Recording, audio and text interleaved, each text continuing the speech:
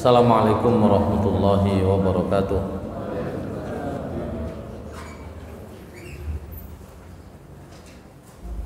Innal hamdalillah nahmaduhu wa nasta'inuhu wa nastaghfiruh wa na'udzu billahi min shururi anfusina wa sayyiati a'malina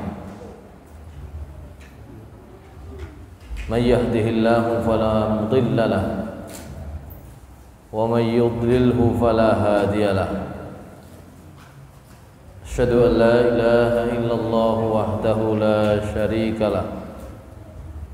وأشهد أن محمدا عبده ورسوله لا نبي بعده. اللهم صل وسلم وبارك على نبينا محمد وعلى آله وصحبه ومن والاه رب اشرح لي صدري ويسر لي أمري واحلل عقدة من لساني يفقه قولي. رب زدني علما وارزقني فهما برحمتك يا أرحم الراحمين. Masyarakat muslimin jamaah salat maghrib di Masjid Al-Mahdi yang dimuliakan Allah Subhanahu wa taala.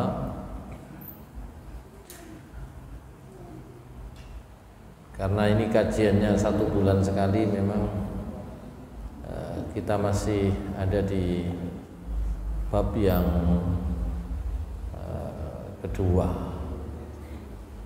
Yang pertama itu toharoh, yang kedua sholat dan itu belum selesai. Terakhir kita membahas tentang apa saja yang makruh dilakukan di dalam sholat. Nah sekarang masuk bagian perkara-perkara yang dapat membatalkan sholat.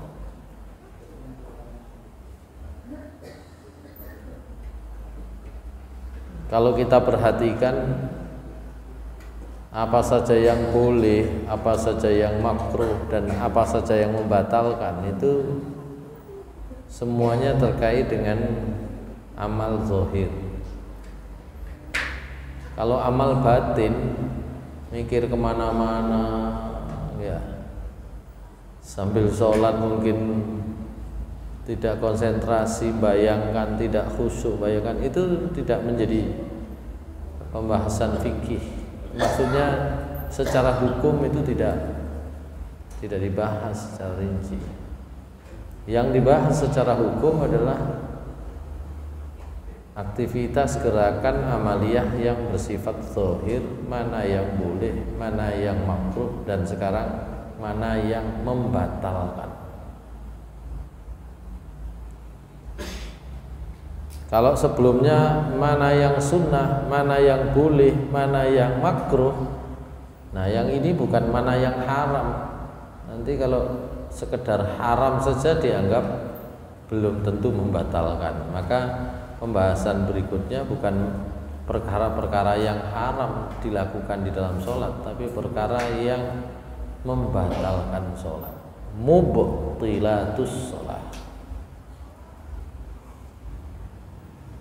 Tabtulus salatu wa yafutul maqsudu minha bi fi'lin minal af'alil atiyah salat dapat menjadi batal. Tujuan salat target salat bisa hilang tidak tercapai.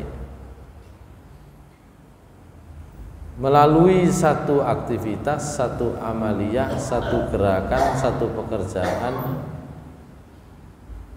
di antara pekerjaan-pekerjaan berikut.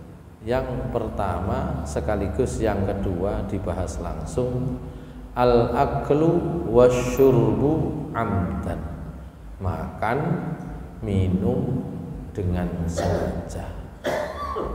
Qala Ibnul Munzir ajma'a ahlul ilmi ala anna man akala aw syariba fi salatil fardi amidan amidan anna alaihi al-i'adah wa kadza fi salati tatawwu'i indal jumhur li anna ma abtala al fardha yubtilu tatawwu'a Ibnul Mudhir mengatakan bahwa para ahli ilmu sepakat bahwa siapa saja yang makan atau mungkin minum. Di dalam sholat saat sholat sholatnya sholat fardu am amidan itu dengan sengaja. Makannya sengaja minumnya sengaja. Maka dia wajib mengulang. Demikian pula ketika itu sholat sunnah karena yang membatalkan sholat fardu berarti dia otomatis juga menjadi sebab batalnya sholat sunnah. Dalilnya apa? tidak ada dalilnya. Enggak ada dalil ya artinya memang ini sholat jelas makan juga jelas sholat itu rangkaian ibadah yang di situ seluruh gerakan dan doa bacaannya sudah dicontohkan ditentukan oleh Rasulullah SAW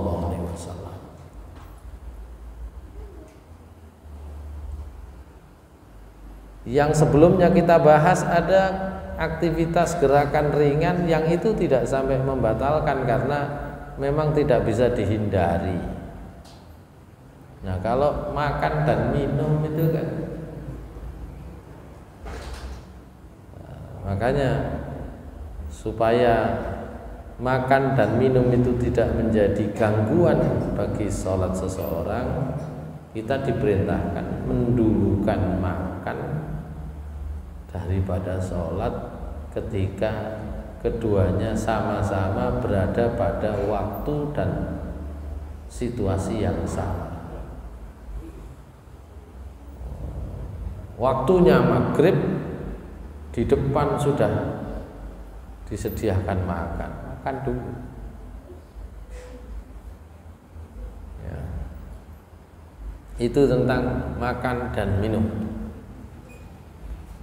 Demikian pula yang nomor tiga sama al kalamu amdan fi ghairi maslahatis sholat berbicara dengan sengaja padahal itu tidak termasuk kemaslahatan sholat tidak bisa membantu kebaikan sholat kita. Fa'an Zaid bin Arqam qala kunna natakallamu fi sholati yukallimur rajulu minna sahibahu wa huwa ila jambihi fi sholati hatta nuzilat. Wa qumu lillahi fa umirna bis sukuti wa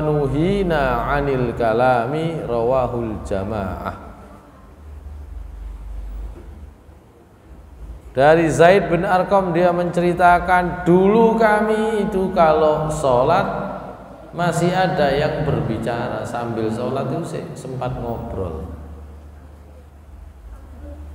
Di mana ada orang ngajak ngobrol teman lainnya yang ada di sampingnya.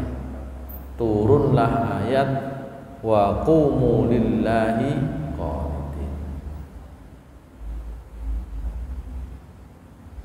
berdirilah untuk sholat dengan keadaan posisi hal tunduk sujud kepada Allah Subhanahu wa taala.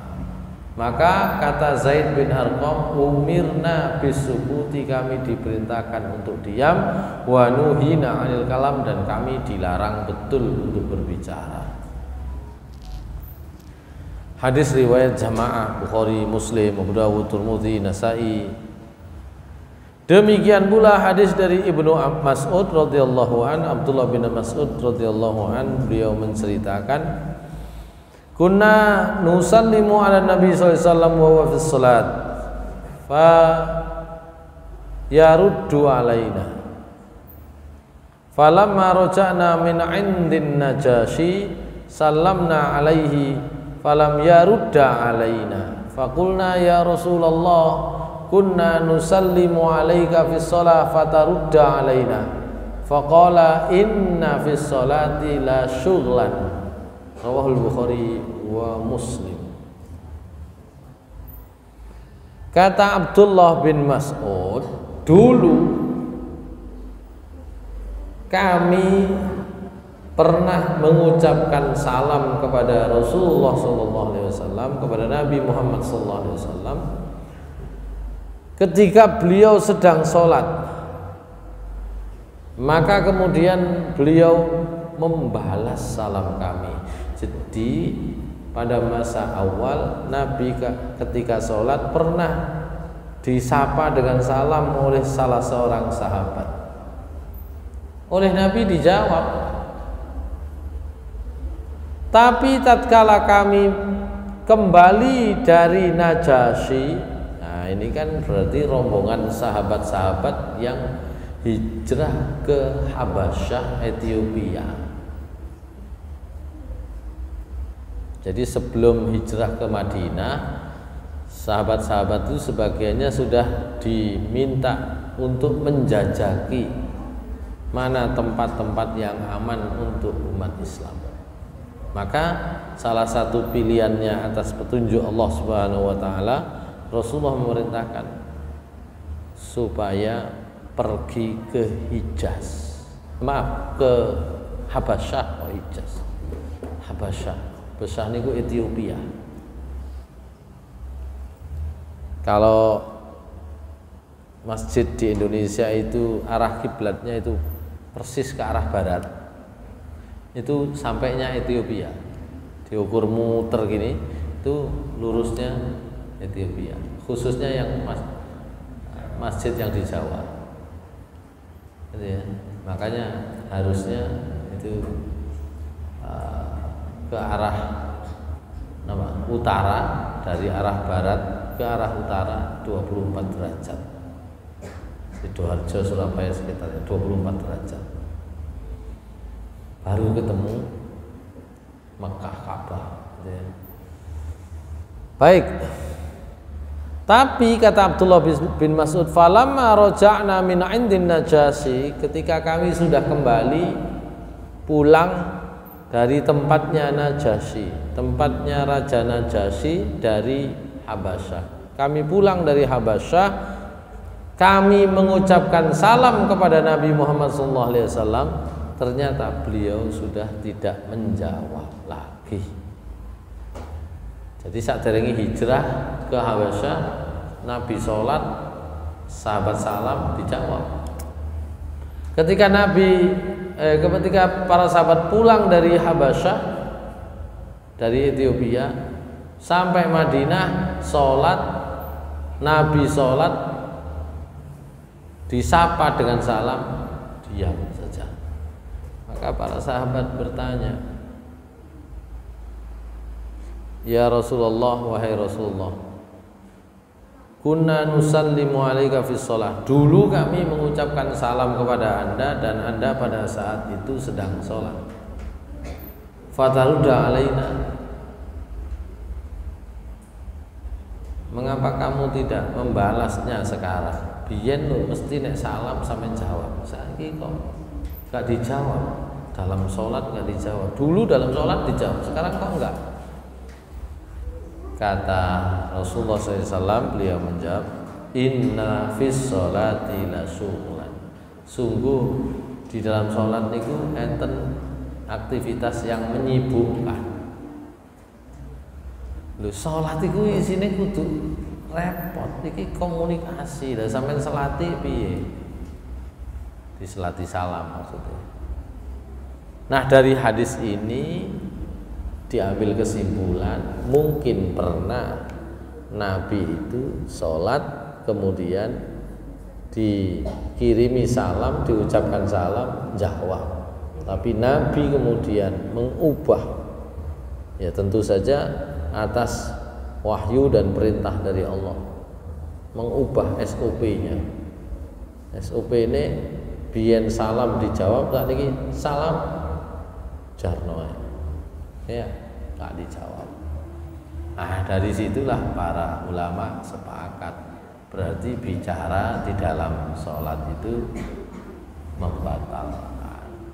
Fa in takallama jahilan bil hukmi aw nasiyan fas salatu sahihatun fa an muawiyah bin al hakam as-sulami qala bainama ana usalli ma rasulillah sallallahu alaihi wasallam atisa rajulun minal qaumi faqultu yarhamukallah faramani al qaumu bi absarihim faqultu Wazkulu amma ma sya'nukum tanzuruna ilai faja'alu yadribuna bi'aidihim ala afkhazihim afkhazihim falamma ra'aituhum yusammitunani lakinni sakata falamma shalla Rasulullah SAW fabi abi ummi fabi abi wa ummi ma ra'aitu mualliman qablahu. Wala ba'dahu ahsana ta'liman minhum fa wallahi ma kaharani wala darabani wala syatamani qala inna hadhihi salah la yasluhu fiha syai'un min kalamin nas innama hiya tasbihun innama hiya tasbihu wa takbir wa qiraatul qur'an. Niki enten sahabat jenenge Muawiyah bin Hakam beliau ini pernah sholat bersama Nabi Shallallahu Alaihi Wasallam jamaah. Eh ternyata ada jamaah lain yang bersin. Sholat jamaah satu bersin. Jamaah sebelahnya langsung yarhamukallah ya kan? otomatis maka orang lain jamaah lain itu ya podo noleh kabeh memandangi semua. Aneh. Wong ana salat baca apa namanya yarhamukallah. Ya kok aneh? Sholat kok adik mau yarhamukallah. Meskipun kalau di luar sholat justru itu yang benar. Tapi kalau sholat kok ada bacaan lain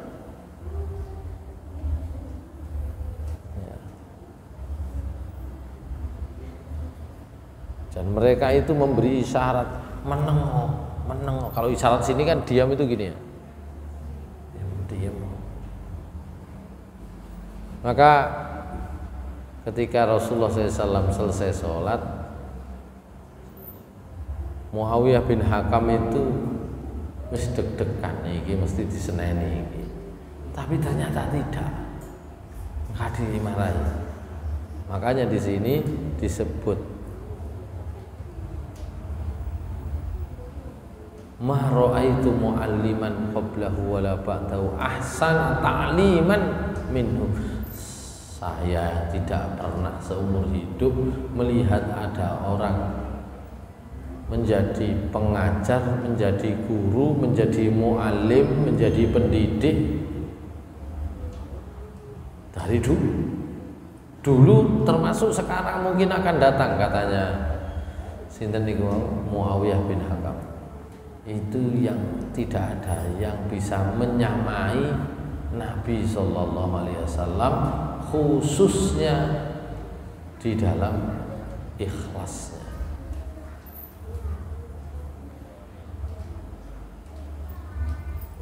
Jadi nggak ada yang lebih baik kalau ngajar itu. Saking ikhlasi, saking ngerti nenang jamaah, maka haroni. Sudah jelas saya itu kalau menurut orang lain salah dan saya juga ragu-ragu, mungkin gitu ya hatinya. Maka haroni Nabi tidak menghardik saya, gak nyeneni.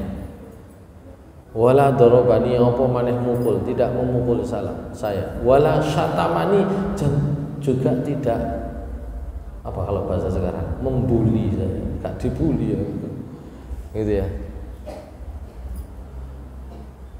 Nabi hanya mengatakan ha inna hadhi salata la yaslu fiha syai'un min kalamin nas innama hiya tasbihu takbir wa qiraatul Quran.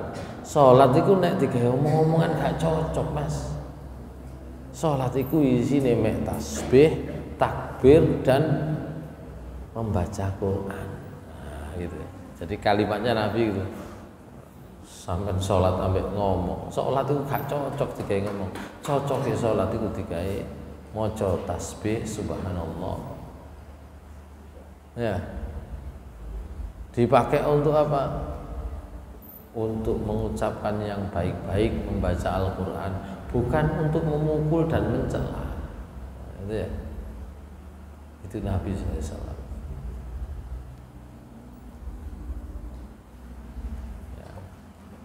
ya karena ngerti. Ngerti itu sabar nek wong gak sabaran itu tandanya gak ngerti. Itu yang pernah disampaikan. Seorang guru kepada muridnya muridnya namanya Musa bin Imran alaihissalam. Nabi Musa alaihissalam. Nabi Musa itu kan pernah diperintah oleh Allah cari orang itu. Awakmu mesti ilmu ini kalah mosok kula niki pun pengalaman tadi nabi kok. Ilmu ini kalah. Udah teko itu yang didatangi sering disebut dengan Nabi Khidir.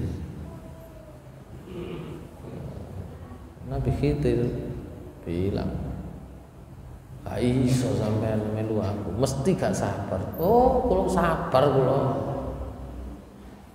itu Khidir menjawab dengan pernyataan yang cukup populer dalam dunia ilmu pengetahuan dan penelitian. Ya. Jadi dalam dunia apa namanya? Ilmu pengetahuan sekarang itu juga dipakai itu. Ya. Enggak mukul, enggak ini, enggak cocok untuk omong-omongan. Ya, Nabi itu isinya adalah tasbih, takbir, membaca Al-Quran.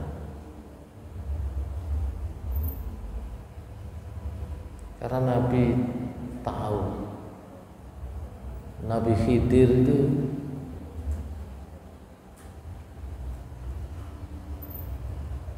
akhirnya kan ngelubangi kapal akhirnya kan nempeleng anak kecil sampai meninggal.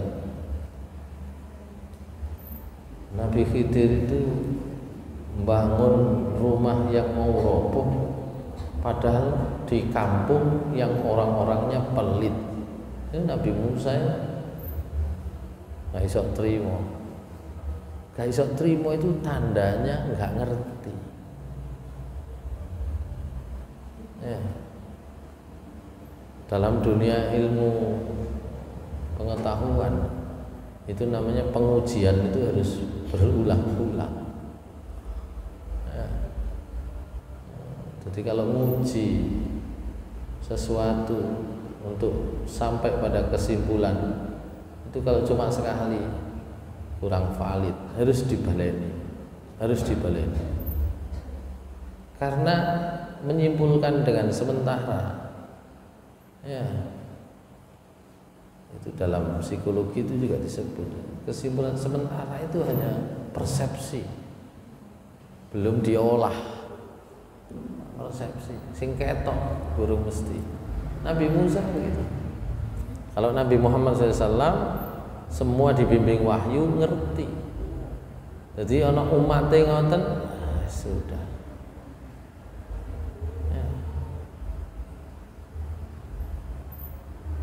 kita itu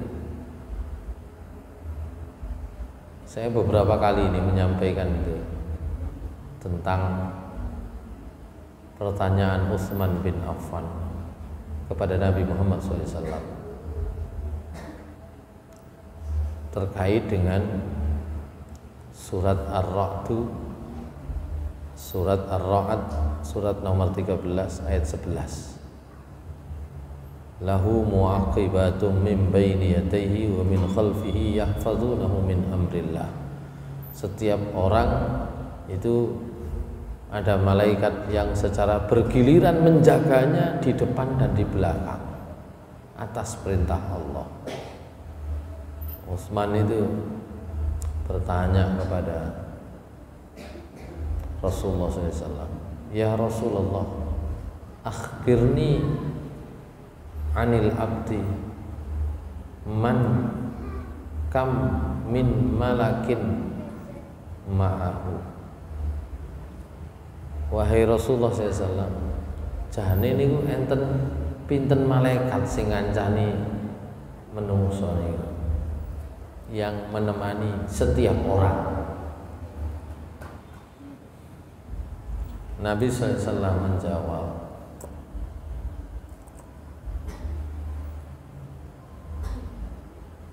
Malakun ala yaminika ala hasanatika. Ada satu malaikat Yang di sebelah kananmu Tugasnya mencatat kebaikan-kebaikanmu. Wahuwa amirun ala allazi ala shimalika dan malaikat sebelah kanan itu menjadi amir menjadi komandan menjadi pemimpin untuk malaikat yang ada di sebelah kiri. Jadi malaikat kanan mencatat kebaikan malaikat kiri mencatat dosa. Cuma malaikat kanan itu punya tugas lain jadi komandannya. Maka kata Rasulullah SAW apabila kamu berbuat baik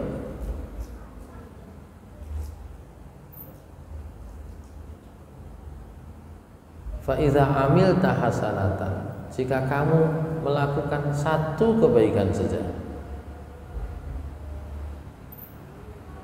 kutiban asyara hasanatin akan dicatat 10 kebaikan ini kan minimal ada dalam Al-Quran jelas ya tapi kalau kamu wa idza amilta sayyi'atan kalau kamu berbuat dosa Qala allazi ala shimal. Malaikat yang sebelah kiri itu berkata kepada malaikat yang ada di sebelah kanan, "Aktub niki ya napa? Kula tulisan, kula catet." Jadi harus konsultasi dulu, tanya dulu. Lo catat. Lah, jangan dulu. La'allahu yastaghfirullah wa yatub mudah-mudahan orang itu segera mohon ampun kepada Allah dan segera bertaubat. Nah, cara mriki ojo ditulis di sini ojo kesusu muka-muka wong ilang istighfar dan bertaubat kepada Allah. Kalau yang kedua lagi melakukan kesalahan lagi tanya lagi. Ya napa niki dicatat ojo dhisik. Nah, Jangan dulu. Baru kalau sudah yang ketiga tanya lagi malaikat yang sebelah kiri ke malaikat kanan. Uktub, wis nggih pun. Tulisannya wis tulisan. Pegel bisa malaikat. Tiga kali nggak ada toleransi. Tulis. Ya arahanallahu minhum. Mudah-mudahan Allah menjauhkan kita dari orang yang kayak gitu. Fabi Salkorin itu konco kok model kaya ngono. Wis dikai toleransi sik pancet ae gak sadar-sadar. Ma aqalla minallah. Sedikit sekali orang itu merasa diawasi oleh Allah. Wa aqalla istihya'ahu minna. Gak pati ruwisin nang awak dhewe. Nah begitu. Malaikat kanan kiri nyatet itu begitu. Ya. Nah, Nabi kemudian melanjutkan. Dan ada dua malaikat di depan dan di belakang yang tugasnya menjaga manusia. Tugasnya menjaga itu dijelaskan oleh para sahabat dalam riwayat yang lain jadi kita itu oleh Allah diberi jaminan keamanan melalui malaikat depan dan belakang. kecuali memang takdirnya kita itu kena musibah. Atau kecuali Allah menentukan yang lain. Sakjane duduk takdir tapi Gusti Allah wayahe oh ya wis iki sudah langsung malaikat minggir. Itu saja jadilah. Ini sampai malaikat ini sampai 10 nih riwayatnya nanti di, di tafsir Ibnu Katsir surat Ar-Ra'd ayat ayat 11 nanti jangan saya nggak ceritakan satu-satu. Ada 10 malaikat. Dan 10 itu eh, shift 1 shift 2 nya 10 juga. Jadi kata Rasulullah SAW karena malaikat malam tidak sama dengan malaikat siang. Maka semuanya 20 setiap orang. Setiap orang 20 Sementara setannya cuma satu, siang iblis, malam anaknya iblis. Cukup orang puluh malaikat. Ya, saya ingin mengatakan begini tentang kita itu dijaga. Jadi apa yang terjadi ya tentang seseorang, tentang siapa saja, itu semua atas pengetahuan Allah Subhanahu wa taala. Itu. Kadang-kadang kita marah itu kanok gone tidak ada tempatnya. Ya. Marah itu justru menunjukkan kita tidak tahu tentang siapa yang membuat skenario sampai tiba. Apa tiba itu jatuh. Enggak Allah sing diseneni. Padahal ini sederhana. Ini malaikat kalau Gusti Allah dikongkon ngali. Saya sering katakan gara-gara awakmu iki. Ya talane dadi lunyu misalnya jadi licin jalannya. Oh ya awakmu. Padahal jalan jadi licin sudah sejak satu jam dua jam tiga jam yang lalu sing jatuh sampean kenapa bukan yang lain kan gitu tuh oh. Loh, Pak cek enten sing tanggung jawab. Enggak, tapi kan nggak perlu marah. Masalah tanggung jawab itu urusan yang berbeda. Tapi kadang marah dulu itu marah itu oleh Nabi Khidir kalau diartikan Nabi Khidir Allah tidak menyebut nama di dalam surat Al-Kahfi itu kepada Nabi Musa wa kaifa tasbiru ala ma lam tuhid bihi khubra ya apa sampean iso sabar wong sampean gurung ru ilmu nih jadi orang yang marah itu menunjukkan ilmunya dalam hal itu ketika dia marah itu eh, sedikit sebenarnya. Nabi ero sahabate napa wau ana wong wahing wahing niku bersin. Ya namanya spontan. Aja ya mestinya kan yang wahing alhamdulillah. Sebelahnya yarhamukallah. Sebelahnya nggak pakai nunggu itu pokoknya saya yarhamukallah saja. Uh, sing liyane melihat iki ono salat kok ngene kan gitu ya. Nah, makanya kata Muawiyah bin Hakam tadi itu saya nggak pernah melihat orang yang sewabar mendidik umatnya itu kecuali Nabi Muhammad SAW ya nggak mencela ya nggak bully ya nggak eh, gitu. cuma Nabi mengatakan Sholat itu tidak cocok kalau buat omong-omongan. Cocoknya itu kayak muni subhanallah, takbir, baca Quran gitu. Nah, dari situlah kemudian semakin jelas berbicara di dalam sholat itu membatalkan. Kalau sengaja, tapi nak niku spontan betul sengaja. Atau dia masuk kategori yang kedua, gak eru nek gak oleh nah, gitu kan gak tahu kalau tidak boleh maka nggak apa-apa kemudian riwayat yang lain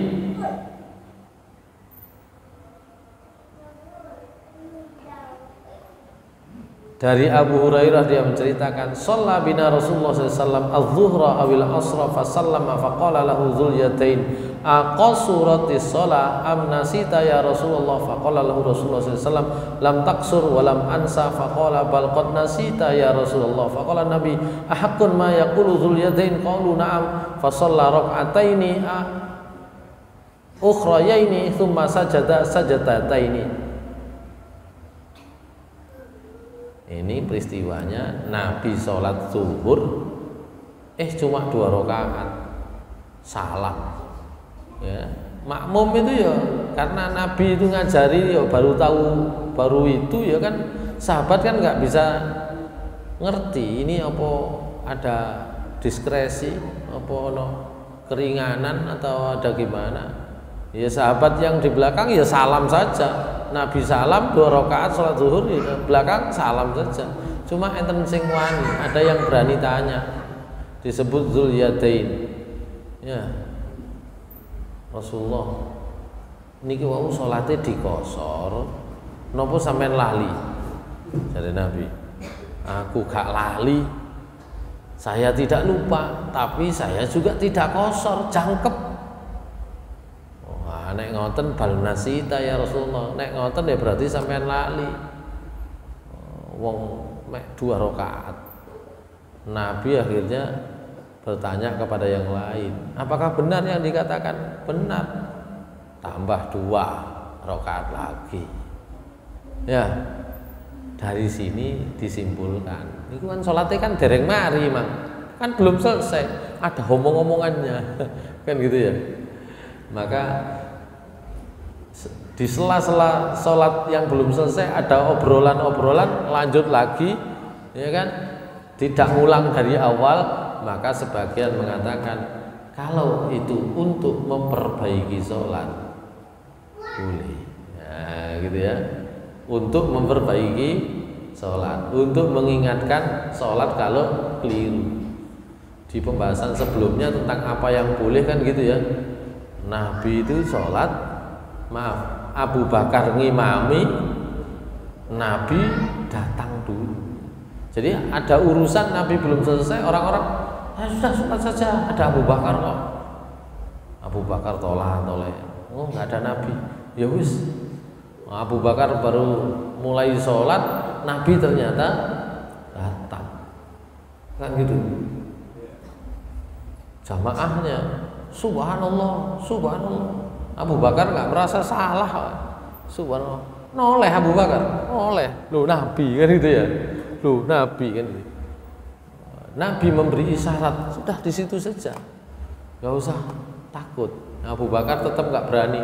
Abu Bakar mundur akhirnya Nabi maju imam ya artinya kalau untuk memperbaiki sholat ya nggak apa-apa Cuma memang sudah ada ketentuan sekarang ini memperbaiki sholat ya sudah ada kalimatnya, ucapannya, subhanallah kan gitu ya. ya. Mudah-mudahan yang diingatkan ngerti, gitu ya. Yang diingatkan gak ngerti. Baik, itu tentang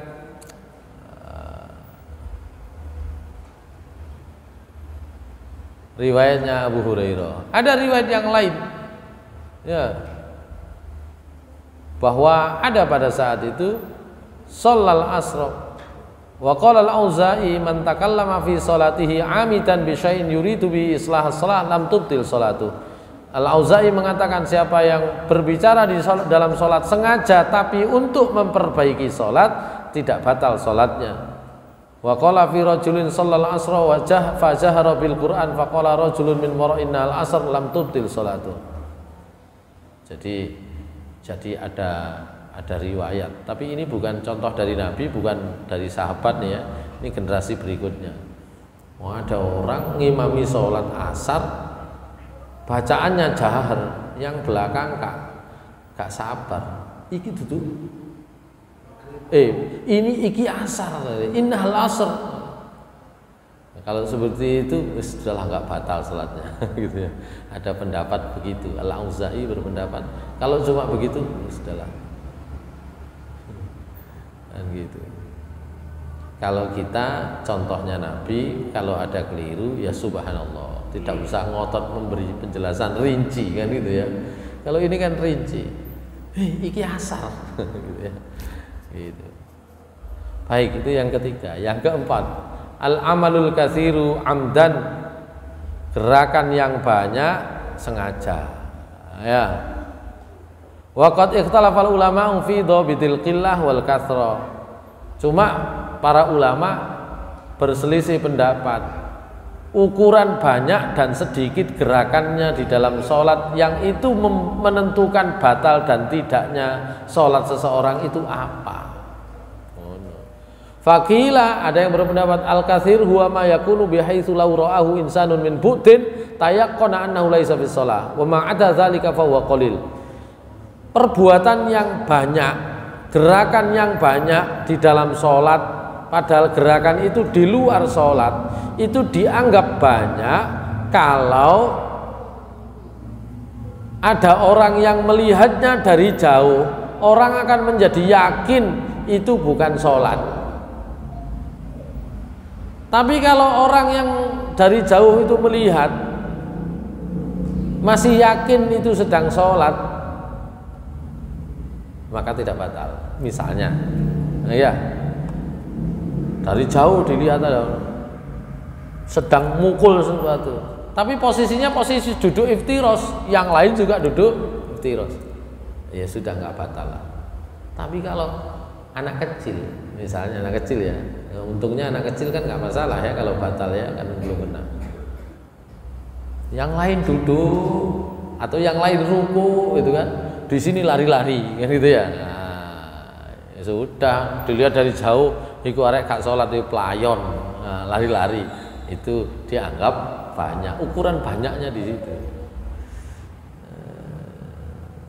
Cuma anak kecil tadi guyon sama temannya posisinya masih ruku ya Podo ruku eh ini ruku iki ruku cuma sambil guyon misalnya.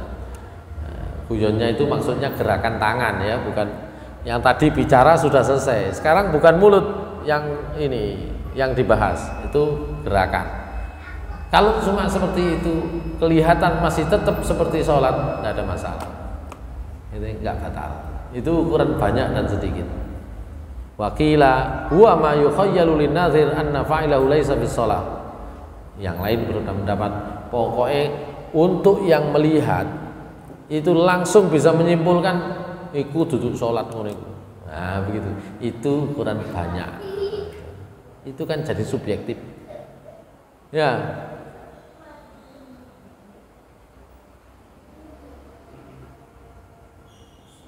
Oleh karena itu, karena subjektif, Imam Nawawi mengatakan, Innal fi'al ladzi laisa min jinsi min jinsi salat in, in kana katsiran abtalaha bila khilafin wa in kana qalilan lam yubtilha bila khilafin, hadza huwa dhabit. Ya, sing jelas nek gerakannya kalau gerakannya banyak itu membatalkan, kalau gerakannya sedikit itu tidak. Itu sudah jelas. Enggak ada khilaf. Tsumma ikhtalafu fi dhabdil qalil wal katsir ala arba'ati aujuh. Tapi orang berbeda pendapat, banyak dan sedikit ini seperti apa? Maka ada empat pendapat. Dan dipilihlah pendapat yang keempat. Faqala Imam Nawawi mengatakan wa huwa sahihul masyhur wa bihi qata al musannif wal jumhur anna rujuk fihi ilal ada fala yadur ma yu'iddu nasu qalilan. Kal isyarah bi raddis salam wa khal'in na'li wa raf'il imama wa wad'iha wa labsi thawbin khafifin wa naz'ihi wa hamli saghirin wa wad'ihi wa daf'i marin wa dha wa talqul busaqi fi thawbih wa ashbahu hadza akhirnya dibuat begini ini pandangan yang keempat ini gini jadi ada empat pandangan tapi yang lain tidak disebut pokoknya saya ikut yang empat. Ini diikuti oleh banyak ulama. Pendapat yang keempat ini sederhana untuk menentukan apakah aktivitas itu dianggap aktivitas yang banyak membatalkan dan tidak. Yang tidak itu kalau menurut kebiasaan orang memang itu dianggap biasa. Dianggap tidak masalah. Misalnya ada orang salam memberi isyarat. Atau isyaratnya bisa dehem. Ini syaratnya bisa begini sholat gitu ya. Atau ngelepas sandal. Kalau dulu kan sholat pakai sandal. Ya sholatnya di ya, tempat tanpa alas gitu ya. Kalau kita mungkin tidak lepas sandal mungkin oh lupa. Masih bawa masih pakai topi yang ini ini ngarep diputer atau ditaruh nanti kan? Atau bawa sesuatu di sini. Ya sambil ruku atau sambil sujud ditaruh. Misalnya ya. Warafil imamah tadi itu mengangkat sorban melepas. Wawat iha meletakkan. Walapsi taubin khafifin memakai pakaian yang yang kecil-kecil. Selendang ada di bawah pakaikan begini. Au wanazaihi atau melepas justru. Rendang dilepas. Asal tutup kelambi atau kondisor sampai dukur ke wawe kan gitu ya? Nah, gitu ya. Wa hamli saghirin wa wad'i gendong anak kecil atau menaruh anak kecil. Wa daf'i marin atau menolak orang yang lewat. Ada orang lewat wa talqul basaq fi thawbih.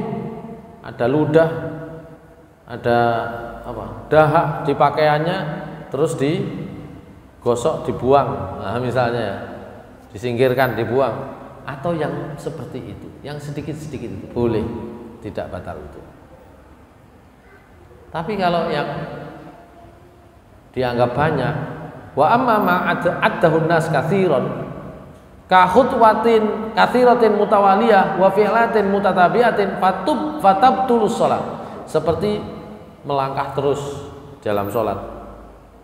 Atau melakukan hal tertentu terus menerus sampai kalau di sana kalau di sini nggak nggak umum ya. Kalau di sana itu kan cari soft kalau di Masjidil Haram misalnya yang paling banyak daripada Masjid Masjid Nabawi. Masjidil Haram depan ada orang. Eh, maaf. Mau mau takbir itu cari tempat kan cepet-cepetan. Takbir takbir. Tapi setelah takbir depan itu kosong. Jalan. Depannya kosong lagi ternyata. Jalan lagi.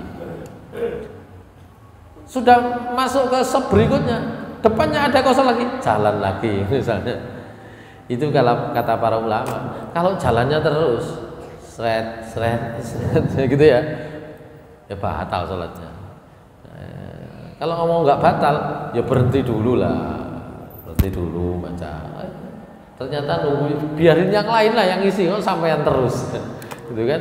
Kan sering kalau di sana kan oh, sop kosong, kalau di sini enggak, enggak sering, oh sofe mek telu mau mau ya kan?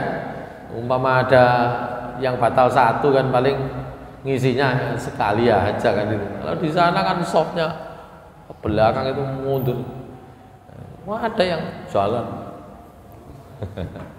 itu kalau terus jalannya ya batal. Makanya dalam mazhab Syafi'i dibatasi tiga kali. Gitu kan? Atau pekerjaan mutatabiah yang terus menerus ngukur oleh ngukur oleh ngukur tapi nek sepanjang sholat ini ini tempur terus, kukur-kukur gini ya. Ini, ini itu kak mari-mari. Sambil berdiri tangannya nggak sedekap ganti gini terus. Ya sudah batal kan gitu ya. Nah, itu. Dalam madhab syafi'i dibatasi tiga kali. Nek ngukur mari bon sambil balik mana kalau mau ngukur lagi nanti kan itu. Ini terus. Si gatel ya pak? Terus ya pak. Itu ini ya.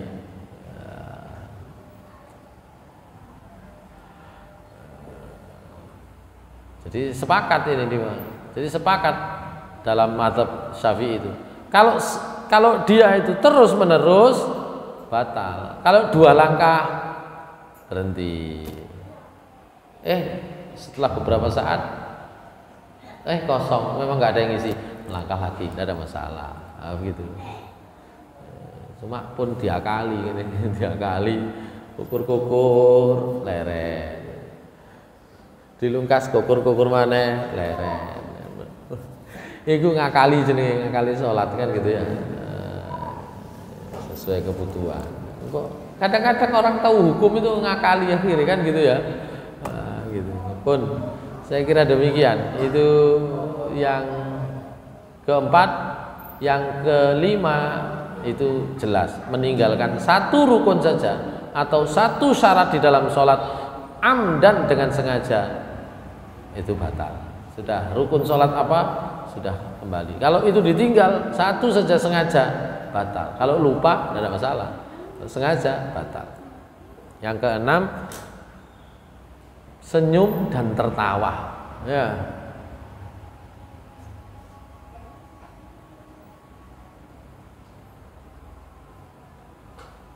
kata Imam Nawawi senyum nggak masalah. Tertawa. Ya itu kalau nggak bisa ditahan batal. Nggak bisa ditahan itu maksudnya nggak bisa dikendalikan. Aku tawa terus itu ya. Itu ini. Tapi kalau masih bisa ditahan tidak batal itu ya. Nah, itu saya kira pembahasan kita pada malam hari ini nanti pembahasan berikutnya insya Allah tentang mengkodok sholat. Assalamualaikum warahmatullahi wabarakatuh.